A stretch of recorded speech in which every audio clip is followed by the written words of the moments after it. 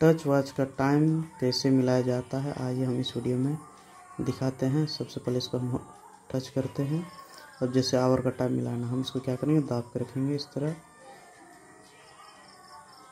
अब जो हम दाब के रखें यहाँ, कुछ थ्री सेकंड के आसपास। अब देखिए ये शुरू हो गया अब इसको आगे बढ़ाते जाएँगे। नीचे दाबने पर यह आगे बढ़ते जाता है।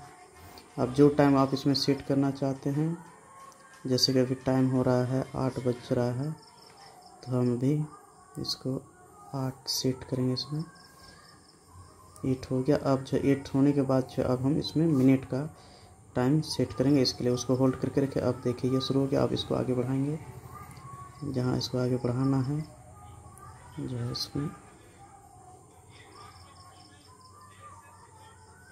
आगे बढ़ाते जाएँगे, जहाँ इसको सेट करना है। देखिए इसको छोड़ दिए।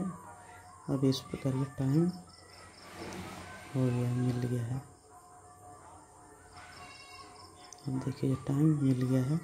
इस प्रकार हम टाइम को मिला सकते हैं टच वॉच में। तो अधिक से अधिक इसको शेयर कीजिए सब्सक्राइब कीजिए इस चैनल को। Thank you